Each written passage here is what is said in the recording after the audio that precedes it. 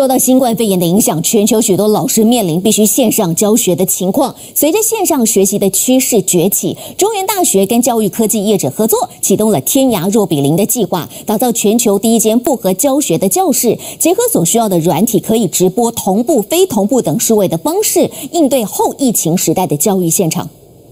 教室里，老师上课的后方摄影镜头第一时间将讯息传给远端的学生。远距教学随着疫情爆发，逐渐改变过往的教学模式。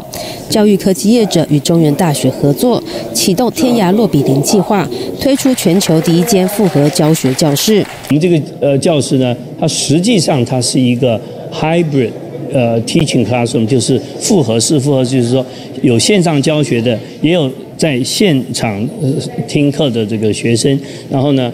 呃，只要有这个设备在家里的，都可以啊同时听到，这是这是非常非常先进的。数位教学是未来趋势，以数位学习兼顾课堂和远距教学的复合教学教室，在设置上，前方的电子白板是老师授课主荧幕，后方则有两台摄影机，一个是老师的提稿机，另一个则是所有参与线上的学生画面。上课完全不用受到时间空间限制。线下学生三十位。线上加起来一百五十位，成长五倍，所以我们看到了五倍是可能的，五倍是很有机会的。立志，我们想做成呢全世界第一个能够线上线下最好的互动教学团体。